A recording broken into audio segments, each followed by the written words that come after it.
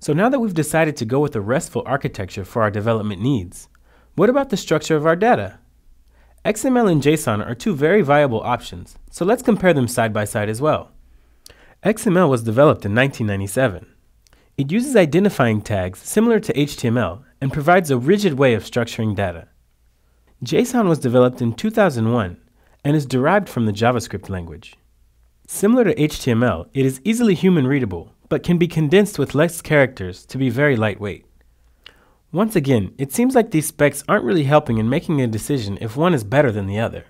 But since our APIs are made to best suit the developer, we should use a data structure that is most friendly to our end user.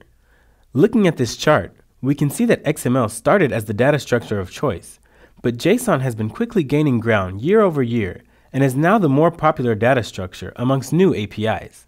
By piggybacking off the popularity of JavaScript, JSON has been readily accepted by the web development community as the most common way to structure data sent across RESTful APIs.